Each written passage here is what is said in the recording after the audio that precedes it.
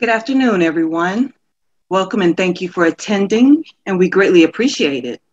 I am Siobhan Andrews, student president of the new University of Arizona Global Campus Women in STEM organization. As an information technology student here, I am thrilled to say that the University of Arizona Global Campus Women in STEM is a student led organization that focuses on STEM careers for women our club includes the UAGC Women in Technology International Chapter, better known as WITI, and the UAGC chapter of Girls Who Code, College Loop. Today, we're going to talk about building your legacy. But before we can talk about that, we must define it. So, what is a legacy? Well, Merriam Webster describes it as something that is handed down from our ancestors, predecessors, or from the past so today we're going to learn how to build from experiences of our speakers. And I don't know about you, but I'm ready to hear their stories. But before we can listen, I would like to thank you again for joining us, and I will pass it over to our officers to introduce themselves as well. Good afternoon, everyone. I'm Carrie Seuss, Vice President. Good afternoon, everyone. My name is Mayan Colden, and I am the Secretary. Hi, everyone. My name is Yam Mitchell, and I'm your Communication Officer. And hello, everyone. I am Dr. Karen Lynn Daniels Ivy. I am the department chair of our Technology Studies organization. We are so excited about this webinar today. Oh my goodness, we are in a position to hear from a set of legacy pioneers who have been extremely, extremely helpful, beneficial, successful within their STEM walks today. One once said that your legacy grows with each new experience, and we are in for a wonderful experience today. So take notes and sit back, and you will gain something for sure. This webinar is a historical gathering of legacy STEM pioneers. Thank you to all of our panelists who will be speaking on the panel today. And also thank you to the historically Black colleges and universities who are joining us today. Throughout the webinar, we'll have you to place in chat hello. So later on, we can recognize you, your name, and the name of your HBCU in attending. And so without any further delay, I would like to welcome to the mic Carrie, who will introduce to us our speakers for the event today. Carrie, the mic is yours. Thank you, Dr. Ivy. Again, good afternoon and welcome. I have the distinct pleasure of introducing our esteemed speakers. While I share their accomplishments, Mayan will post in the chat full, full bios on each speaker. Our first speaker has dedicated his life to the service of the United States as a Marine Corps Major General and then as a NASA administrator. Welcome, Major General Charles F. Bolden Jr. After graduating from the United States Naval Test Pilot School in 1979, Bolden was selected as an astronaut candidate by NASA then becoming an astronaut in August of 1981. In July of 98, he was promoted to the final rank of Major General and assumed his duties as the Deputy Commander, United States Forces Japan. He later retired from the military in 2004. Fast forward to 2009, he was appointed by President Barack Obama to be the 12th NASA administrator. Today, he serves as CEO of the Charles F. Bolden Group, LLC, a veteran owned small business specializing in aerospace, national security, leadership, and education. I now pass on the mic to Dr. Karen Ivy. Thanks, everyone. And thanks for all of the background on our excellent speakers for today. I'm going to pass the mic over to Maya. Hello, everyone. Thank you for joining Women in STEM. I am going the first going to introduce our net our first speaker, which will be uh, Major General Charles Bolden. Thank you very much, and uh, Dr. Ivy, thanks for inviting me to participate in this session. Uh, I'm actually going to keep my remarks very brief because I want to hear the rest of the speakers. Um, I, I, have a special relationship with most of them, uh, particularly Guy and, and Ed Dwight. They're both sort of heroes and role models for me and uh, and Dr. Sh- and and Cheryl McNair, um, she knows that I would not be here in this panel today were it not for her late husband Ron McNair, because um, when I came out of high school in C.A. Johnson High School in Columbia, South Carolina, uh, and finally got to the Naval Academy, two things I knew I was not going to do. One was become a Marine, the other one was fly airplanes. Um, uh, and here we are all these years later, and, and I, I, I ended up doing both. So, uh, so I would say to the, to the folk who are participating or listening in to this webinar, um, use that as a lesson. Don't ever say no to anything. Uh, take advantage of every opportunity that's offered to you and, uh, and, and grow, as the saying goes, grow where you're planted. Um, I'll, I'll, tell you the story about Ron. You know, Ron, for those of you who have ever read about him, was a person who always, from, from as early as his family can remember, uh, was going, not wanted to be, but was going to be an astronaut. And uh, the, my favorite story of Ron, because we grew up about 42 miles from each other, he in uh, Lake City, South Carolina, which is a, it's a little town.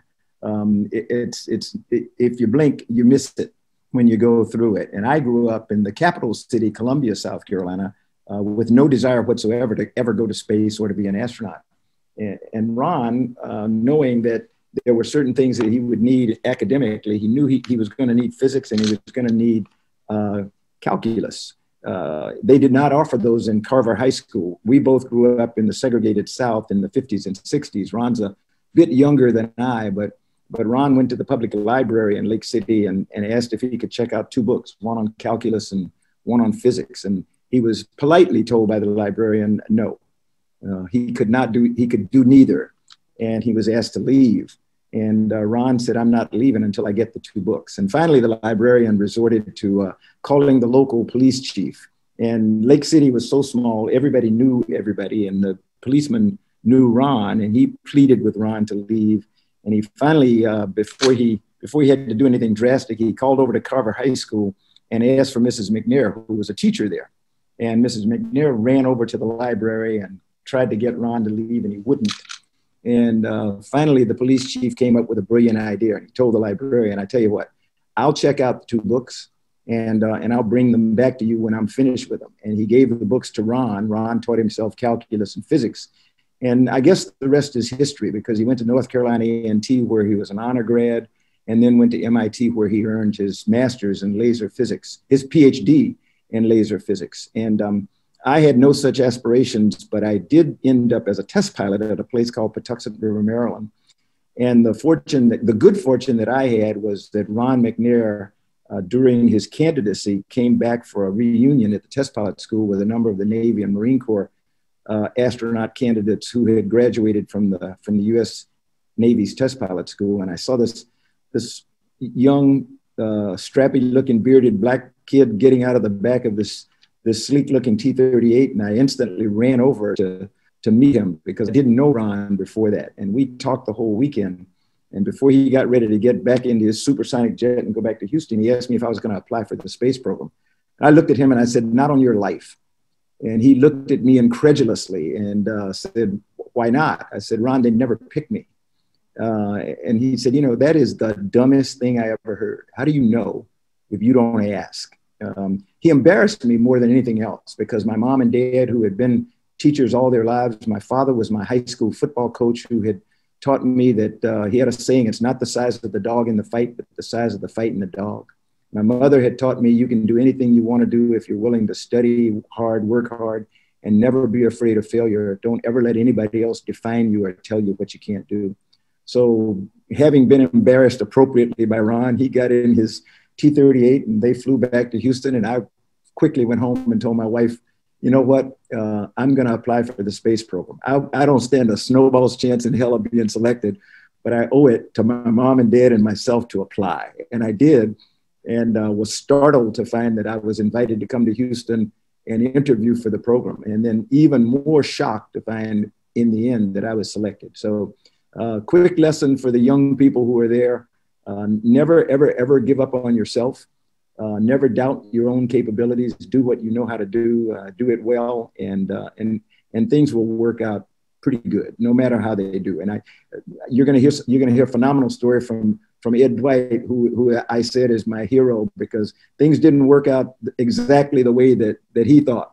But uh, he is the one who smiles now because he is one of the world's greatest sculptors in my mind. And uh, hopefully he's going to tell you a little bit about about how he overcame adversity and is now uh, someone that other people idolize as much as I do. So let me stop there, Dr. Ivy, and uh, pass it off to the next, back to you or, or off to the next speaker. I'm sorry, Mayan, go ahead. Thank you for sharing with us today. I want to thank you all for joining us, answering our questions, and showing just showing us a piece of you and your legacy. So I really appreciate everything.